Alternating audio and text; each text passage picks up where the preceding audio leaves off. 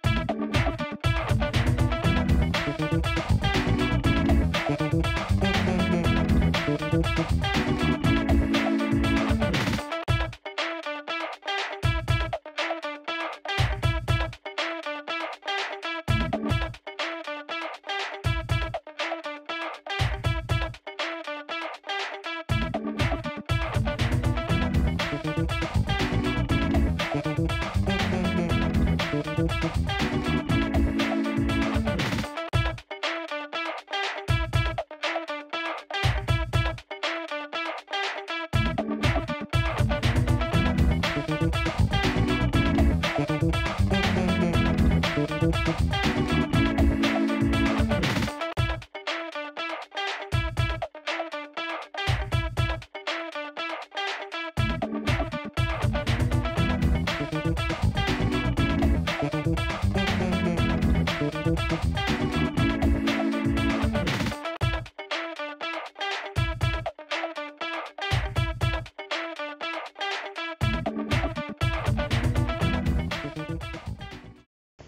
Okay, so mga tol, natapos na yung simpleng logo natin.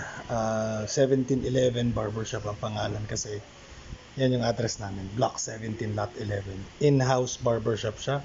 Meron lang akong 6 feet by 5 feet o mas maliit pa na space. It's a one-seater barbershop dito sa loob ng subdivision. So, eto lang siya. Bukas ayusin ko pa yung kisame. Hopefully, matapos ko. Salamat sa panonood, guys.